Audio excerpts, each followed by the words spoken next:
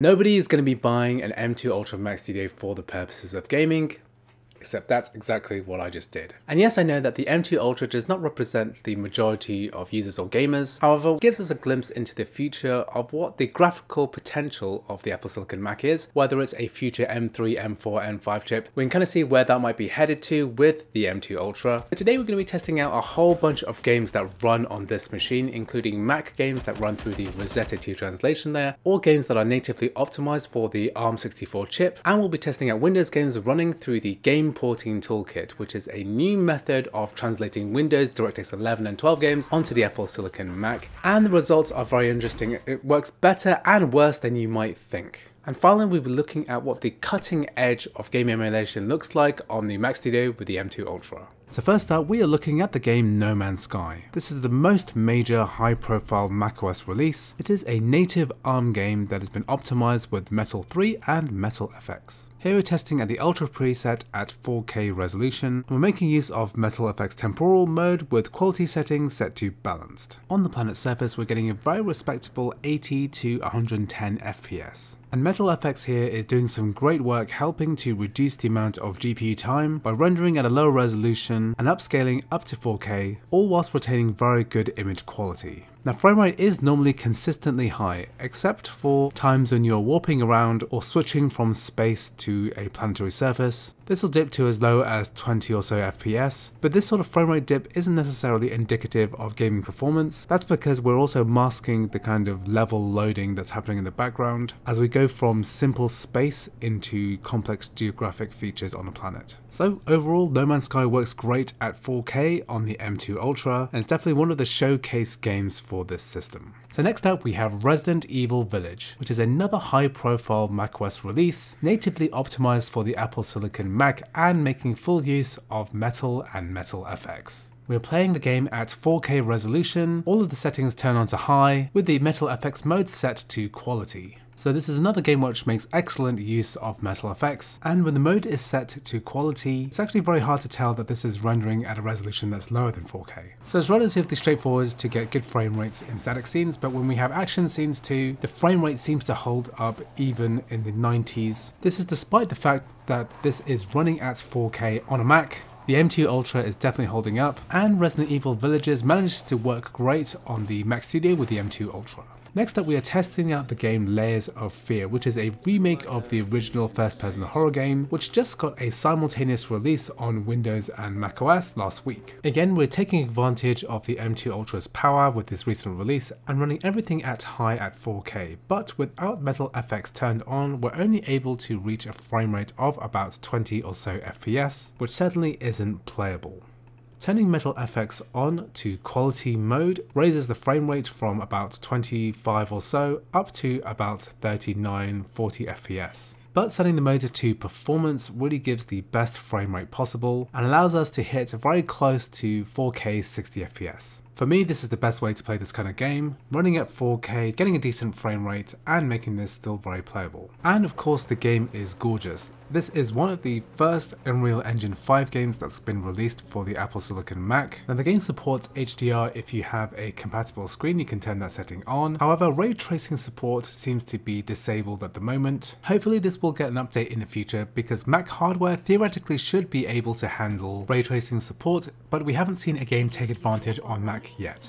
So next up we're looking at the popular multiplayer game Dota 2. Now this game is definitely one of the most popular games on Steam, consistently topping the charts along with CSGO. So today we're running at 4K using the second faster preset and the game runs using the Vulkan graphics API, which the Apple Silicon Mac does not support, so it's actually using an intermediary layer called MoltenVK, and on top of all of this, this is still an Intel binary being run through the Rosetta 2 translation layer, and although the game is fairly basic graphically, it can be still quite demanding to run at 4K, and it's nice to see here that we're capping out at about 110-120 FPS. Now I'm running this at low because most people just want to be able to play this game at a competitive frame rate, and I definitely said that this seems to work pretty well on the M2 Ultra Mac Studio. So next up is the popular multiplayer free-to-play shooter Counter-Strike Go or CSGO. This is the number one most played multiplayer game on Steam right now, and has been for basically more than a decade.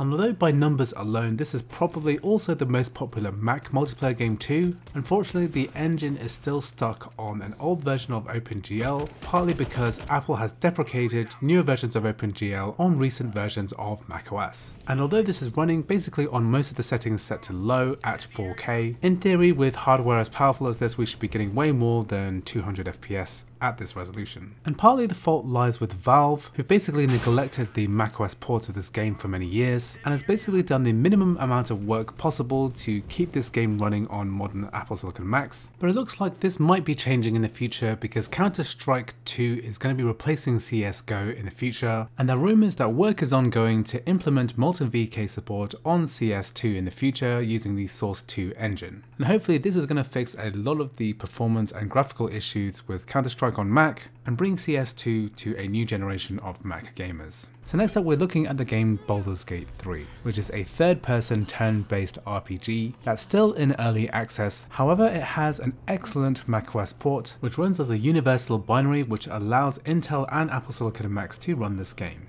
We're running graphical settings at 4K at ultra quality settings, however we're only getting around 35 FPS in this initial scene, however if we turn on AMD FSR 1.0 and enable upscaling set to the quality preset, then we can easily run this game at 4K and it's maxing out at 60 FPS. So yes, this isn't Metal FX, but it does a very similar job, helping to get Baldur's Gate 3 working on ultra settings at 4K on the M2 Ultra.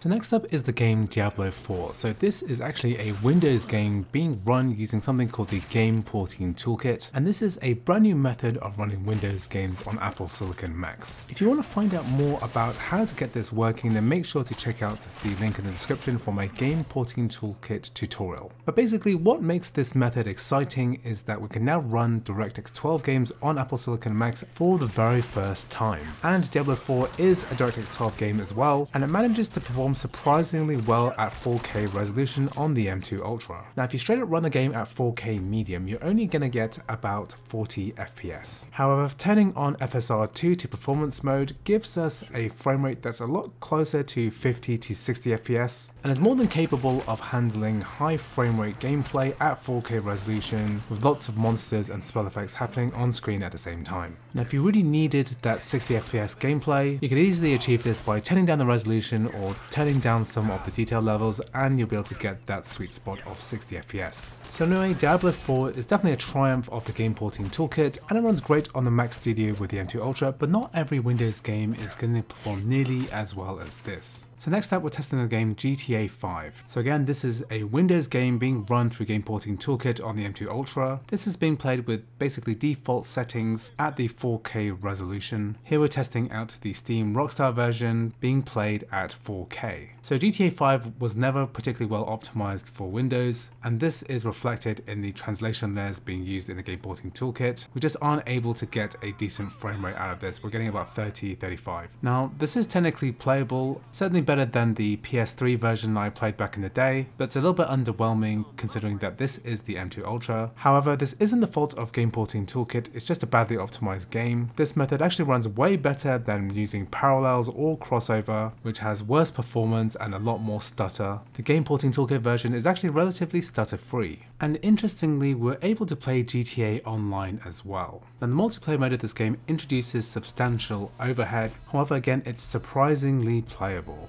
and it looks like there are no issues at all joining an online multiplayer race, issues that you might have faced occasionally when you're playing this through crossover or parallels. This method of playing GTA Online is basically the best method, and of course if you needed an extra boost in performance you can enable resolution scaling and also drop the main resolution of the game as well, and you'll get substantially better performance. So next up we're looking at a bunch of games which actually perform surprisingly badly on the M2 Ultra using Game Porting Toolkit. So in my testing I played the game game Hogwarts Legacy, and unfortunately it seemed like the performance of this on the M2 Ultra was terrible. Here the game is running at 1080p at medium settings with FSR2 set to ultra performance, and the M2 Ultra can only hit 15 FPS. Now this should be impossible because on my M1 Max chip I could run this at 1440p using FSR performance and my M1 Max is easily doubling performance of the M2 Ultra when it should be the other way round. Because the M2 Ultra has virtually double the number of GPU cores, I'd be expecting the M2 Ultra to be running at 60 FPS especially at 1080p. And I was experiencing similar issues with the game Elden Ring which seemed to perform much worse than on other Macs. Here we're only getting about 12 FPS running at 1080p on low.